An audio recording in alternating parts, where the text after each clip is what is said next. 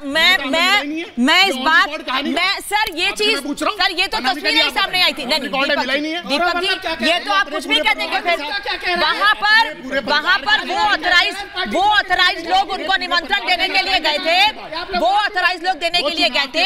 जिनको प्रॉपर ज़िम्मेदारी दी गई है। रुकिएगा। रुकिए। आचार्य मिश्रा।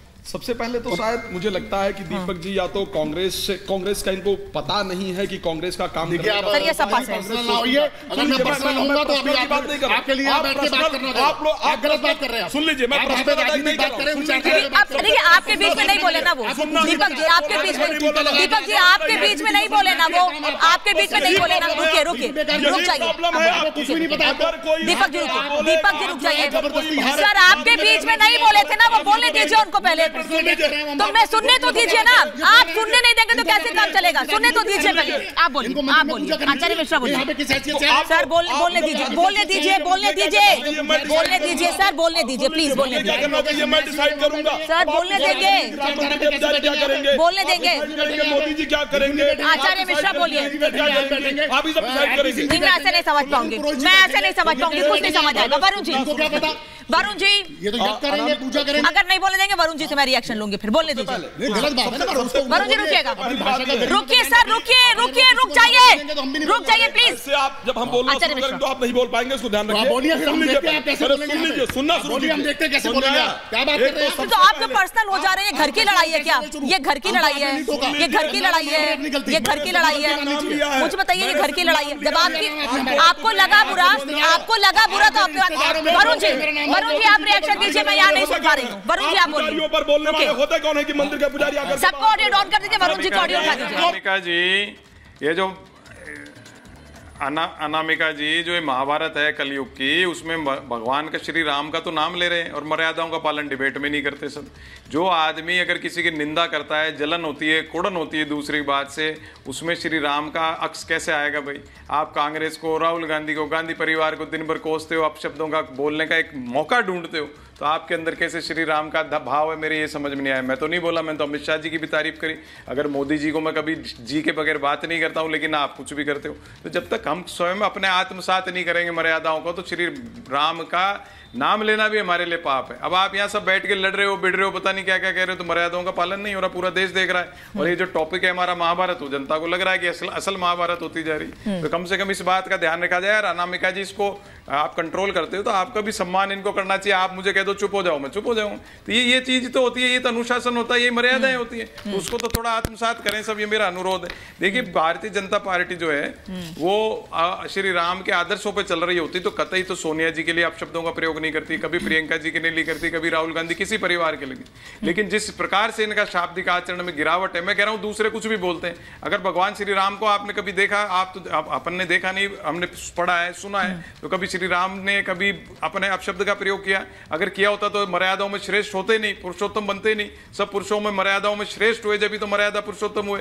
तो उनका एक एक शब्द उसको हम हम उसको जब तक आत्मसात नहीं करेंगे हम राजनीति में समाज में देश को क्या आदर्श देना है तो ये आप ये प्रधानमंत्री से टॉप टू बॉटम शुरू होना चाहिए। जब देश की व्यवस्था सही हो ठीक है चुनाव आ रहा है सत्ता सबको चाहिए। सत्ता लोलुपता का कारण ये मतलब नहीं कि हम समाज में हमारे तो शाब्दिक तो आचरण का अवमूल्यन करें मर्यादाओं अच्छा, का अवमूल्यन करें। मेरा तो यही अनुरोध है। नहीं नहीं आचार्य मिश्रा मतलब वरुण जी। ये कह रहे हैं कि सत्ता की लोलुपता में राम मंदिर बना सत्ता पाने के लिए दर्शन करने जा रहे हैं प्रधानमंत्री या फिर मुख्यमंत्री उत्तर प्रदेश के और इसीलिए मंदिर का निर्माण अधूरा हुआ और उसके बाद उद्घाटन कर दिया गया। अनामिका जी प्रॉब्लम यह है कि आज अगर सनातन धर्म के लिए कोई कुछ कर रहा है आज अगर इस देश में हिंदुओं के लिए कुछ हो रहा है तो उसके कारण पीड़ा सबको हो रही है। आज ही आज तक इस भारतवर्ष के अंतर्गत आप उठा करके देख लीजिए चाहे वो मुस्लिम पर्सनल लॉ बोर्ड बनाया जा रहा था किसी को पीड़ा हो रही थी यहाँ पर हाँ, मस्जिद जब इफ्तार पार्टियाँ आयोजित की जा रही थी और सभी बड़े बड़े नेता बाकायदा टोपी लगा करके उसमें सम्मिलित हो रहे थे। मुझे बताइए, किसी ने आकर के यहाँ पर विरोध किया था? आज तक वो जब अयोध्या को किसी ने पूछा नहीं, जहाँ पर पचासी प्रतिशत जो हिंदुओं की आस्था है वो है, हम सभी लोग जानते हैं राम जी का जन्म हुआ है। आज तक देश को आज़ाद हुए, आज शायद पचहत्तर वर्ष, सत्तर, पचहत्तर वर्ष से ऊपर हो गए। आज तक वहाँ कोई प्रधानमंत्री गया नहीं, किसी को, किसी ने पूछा नहीं, तब क्या कोई प्रवक्ता यहाँ आकर के यह कह रहा था कि नहीं साहब मुस्लिमों के लिए बहुत कर रहे हो कह रहे हो जाकर के। राहुल गांधी ने खुद कहा कि हमारी पार्टी मुस्लिम पार्टी है। कहा या नहीं कहा? तब किसी ने कहा कि भाई, अगर आप मुस्लिम पार्टी की बात कर रहे हो तो कभी अयोध्या के बारे में सोच लो, कभी काशी के बारे में सोच लो, कभी मथुरा के बारे में सोच लो। तब वास्तविकता में बार बार सिर्फ़ मुस्लिमों का गुणगान किया जा रहा था, औरंगज़ेब का गुणगान यहाँ पर किया जा रहा था। अगर आज कोई प्रधानमंत्री आया है, जो 540 वर्षों की जो हमारी तपस्या थी, उसको जागृत करने का प्रयास किया है है। तो आखिर इतनी पेट मैं आपकी बात पे दीपक जी से रिएक्शन लूँ उससे पहले ग्राउंड ज़ीरो पर जाऊँगी। सृष्टि इस वक्त मेरे साथ जुड़ी हैं। सृष्टि थोड़ी देर का वक्त और करीब सात सवा सात के बीच प्रधानमंत्री नरेंद्र मोदी रामलला के दर्शन करने के लिए पहुँचेंगे लेकिन ये बताया गया था कि छह बज के चालीस मिनट पर प्रधानमंत्री पहुँच जाएँगे अयोध्या। क्या अपडेट है? सर रिएक्शन सृष्टि आवाज़ आ रही है आपको? हाँ बिल्कुल अनामिका बिल्कुल अनामिका। देखिए आवाज़ आपकी थोड़ी सी कट गई यहाँ पर शोर बहुत ज़्यादा है लेकिन समय अब बहुत करीब आ चुका है प्रधानमंत्री के आने का। आप चारों तरफ़ ये दृश्य यहाँ पर देख पा रहे हैं कि लोगों की जो संख्या है आप समझिए कि आप यहाँ पर पैर नहीं रख सकते इतनी ज़्यादा भीड़ है। इधर भी बहुत सारे लोग हैं उनसे एक बार हम बात करते हैं। आप लोग यहाँ पर इतने लंबे समय से इंतज़ार कर रहे हैं प्रधानमंत्री का क्या कहना? इधर भी कुछ लोग हैं आप लोग कुछ बोलना चाहेंगे बताना चाहेंगे प्रधानमंत्री आने वाले हैं। प्रधानमंत्री आने वाले हैं इसकी देख करके हमको बहुत खुशी हुई। जी। देखिए छोटे छोटे बच्चे भी यहाँ पर है। आप लोग बताइएगा कैसा उत्साह लग रहा है कैसा माहौल लग रहा है योगी मोदी जिंदाबाद। जय श्री राम जय श्री राम मोदी जी के स्वागत के लिए तमाम लोग कहाँ से आए सर? हम राजस्थान पुष्कर से हैं। हाँ जी मोदी अभी तो प्रधानमंत्री बस थोड़ी देर में आने वाले हैं कितना उत्साह है? बहुत उत्साह है देखने के लिए इतने भीड़ भाड़ में इतनी गर्मी में भी खड़े हुए हैं और हम बिल्कुल देखेंगे और दर्शन करेंगे उनके भी और साथ में राम रामलला के भी दर्शन करने आए हैं। अल्लाह के भी दर्शन करेंगे। आप लोग क्या कहना चाहेंगे? कुछ ही देर में पीएम आने वाले हैं। हम लोग भव्य स्वागत में पीएम जी के लगे हुए हैं। उनके वजह से आज ये भव्य नज़ारा आप देख ही रहे हैं। उनके संदेश से बहुत यहाँ पे सब जागे हुए हैं हिंदूवादी पूरे जागे हुए हैं।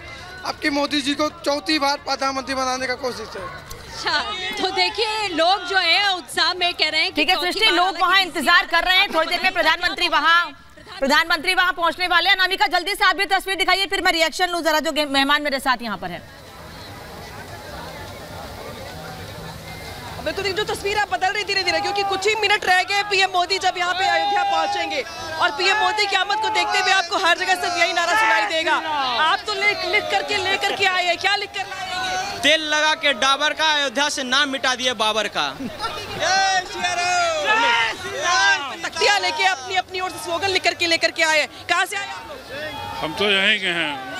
हैं। आज मोदी जी आ रहे हैं। महसूस हो रहा है। कितना बस इनको तो बदलाव भी महसूस होता है अयोध्या के लोगों का। मैं 20-20 सेकंड में रिएक्शन लूँगी। दीपक जी आप 20 सेकंड फिर सौरभ जी आप। देखिए मैं भी बताता हूँ। अभी बीजेपी ने एक वो दिया है कि 2014 से पहले सरकारी नौकरियों मुसलमानों की हिस्सेदारी थी साढ़े चार परसेंट जो अब 10 परसेंट हो गई है। तो मुस्लिमों के लिए कौन काम कर रहा है? बीजेपी।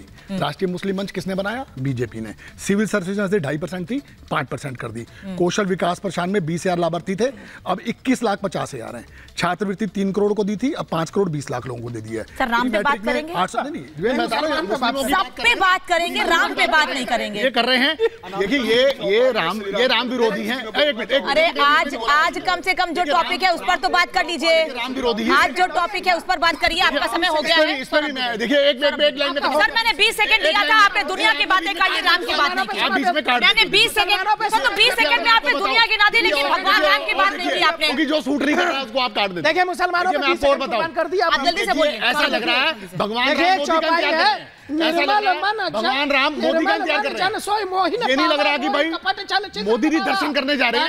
ऐसा लग रहा है है भगवान राम मोदी जी का दर्शन करने के लिए बैठे हैं। ये ये लगातार जब भगवान राम की बात होती है तो मुसलमानों का काम गिराने लगता है। अरे आपने तो मंत्रालय ही बनाया था 2006 में अल्पसंख्यक कार्य मंत्रालय अगर राष्ट्रीय मुस्लिम मंच बन रहा है तो उससे भी तकलीफ़ है। लेकिन समय है है है बताएँ बात पूरी होगी नहीं और समय खिंचता चला जाएगा। बात पूरी होगी नहीं। जल्दी जल्दी जल्दी जल्दी जल्दी। लोग गए नहीं उनके लिए तो बता सबकी रहा हूँ। जल्दी से। हम तो सबकी पार्टी है। भजन मोर खाऊ और जो पै दुष्ट हृदय सोई होई मोरे सन्मुख आव की सोई